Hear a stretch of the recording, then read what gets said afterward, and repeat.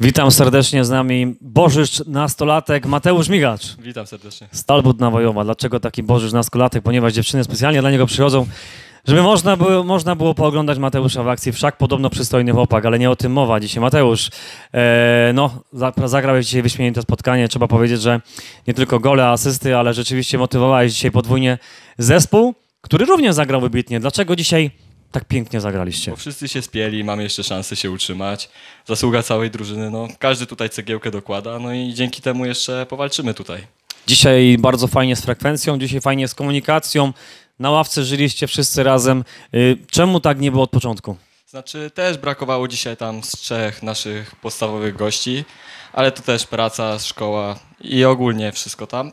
Dlatego po prostu mam nadzieję, że będzie lepsza frekwencja jeszcze w meczach pucharowych, gdzie jeszcze mamy szansę, a tutaj powalczymy jeszcze, poszczelamy. Nie jest, wam, nie jest wam przykro, jeżeli to potwierdzę dzisiaj wynikami gdzieś o 12 w nocy, a chyba tak jest. Nie jest wam przykro, że pozbawiliście prawdopodobnie, ale to mówię w cudzysłowie na razie prawdopodobnie Wiśniowskiego dwójkę pierwszej piątki? Jest nam przykro, no ale każdy walczy o swoje. My też urwaliśmy punkt na przykład gadżetowi, który jest liderem. W pucharze z Sączersami powalczyliśmy, więc też nie jesteśmy takimi chłopcami do bicia, jak o tym mówią pewnie wszyscy.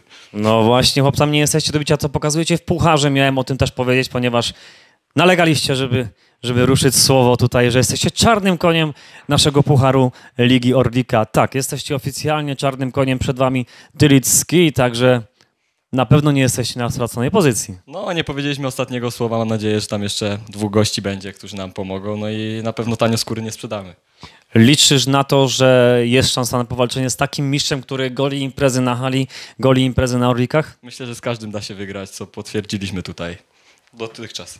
I ostatnie moje pytanie. yy, Gdybyś miał powiedzieć jakiś element po tych dziewięciu kolejkach, można takie małe podsumowanie zrobić. Zakończyliśmy pierwszą rundę.